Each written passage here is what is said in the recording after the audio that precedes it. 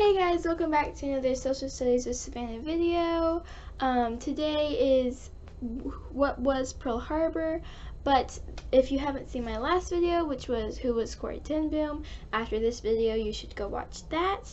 Um, I know it's Friday and I said I was going to post every Wednesday, but Wednesday we, well, Monday we started a new school routine and um, I actually bumped, I skipped 8th grade and I'm going into ninth grade and it is a lot more schooling than I was expecting and uh, you, we used to not do as much like hours every day schooling and now I'm doing like four hours every day which is a lot more than I'm used to so I just completely forgot about it. But I'm here now and that's over and we can get into this video so before I wanted to say what happened at Pearl Harbor, I wanted to say where Pearl, Har Pearl Harbor is. So Pearl Harbor is actually a Navy base in Honolulu, Hawaii. It's still there, but I'm not sure if there's as much importance there since the attack. Uh, it was an important part of America's military. Um, actually, on December 7th, 1941, Japanese people attacked Pearl Harbor, the Japanese people attacked Pearl Harbor. Uh, the attack was a surprise attack, but an attack was expected and around that time because the Japanese and the U.S. had been at odds with each other for a while. Uh, the main thing was U.S. was allies with China and Japan was um, uh, what's it called? I forget what it's called, but they weren't being nice to China. And when the Japanese people declared war on China, we put economic sanctions and trade embargoes on Japan. I didn't know what those were, so I looked it up. And an economic sanction is like a fan financial penalty, and then a trade embargo is like when you're not spending money on the stuff that you usually trade with them for. So it was kind of like a punishment almost like they're not going we're not going to trade with you normally unless you stop whatever you're doing uh, the American officials figured that without access to the essentials that the Japanese would usually get from America, that they would back down. But it actually had the opposite effect on the Japanese, and they were determined to stand their ground. And so the Americans, uh, Hawaii was 4,000 miles from Japan, and 2,000 miles from America's mainland. So the Americans believed that instead of attacking Pearl Harbor or American mainland, that they would attack one of the European colonies in the South Pacific. But um, it seemed unlikely that they would attack such a distant place. Because an attack was not expected on Pearl Harbor, Pearl Harbor was relatively undefended and many boats and planes were exposed. To say it plainly, Pearl Harbor was basically a sitting duck. Uh, the Japanese goal was to destroy America's naval fleet, to cripple them, and that would hinder them from the soon to come invasion on the South Pacific from Japan. So on 8, 8 a.m. Sunday, December 7th, Japan attacked Pearl Harbor with airships. Airplanes, not ships, airplanes.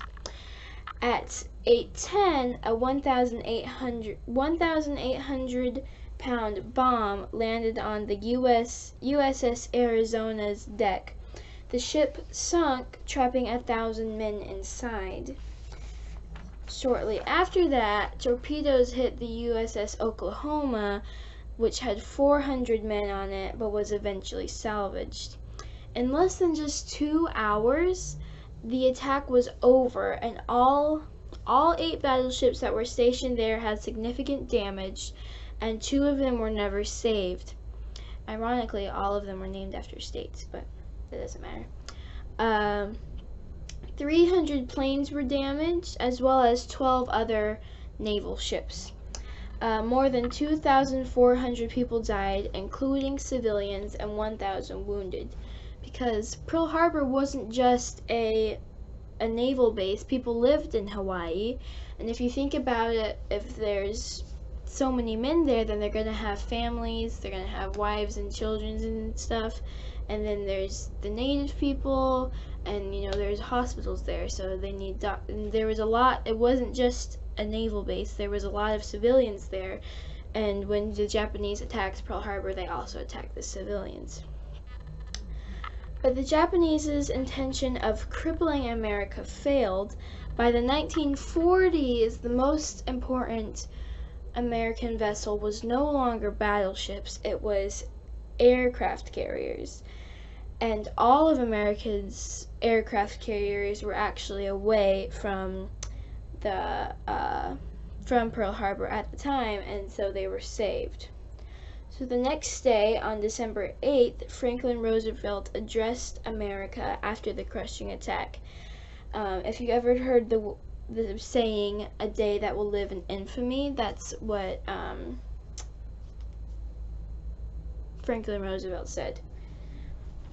And then after this attack, the Americans were united in their decision to join World War II two years after it had started.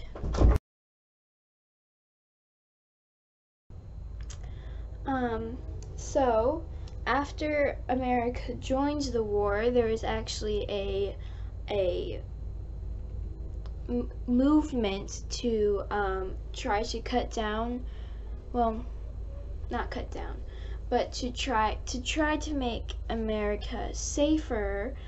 Um, the all the Japanese people in America, all of them, uh, were sent to internment camps, and uh, when people are afraid or hurt or or feel threatened, they will do things that they wouldn't normally do. Like if you've ever seen a hurt dog, they might bark and try to bite you when normally they wouldn't do that.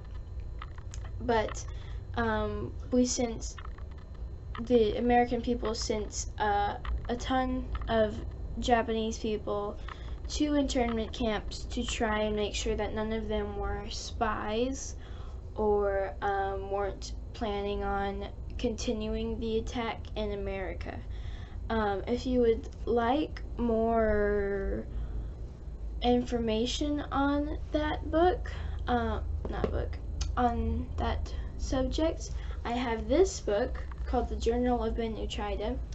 Uh, it's historical fiction, but it's basically as if you're reading like his diary. I mean, I know that's wrong, but it's it's telling you what happened through through his perspective.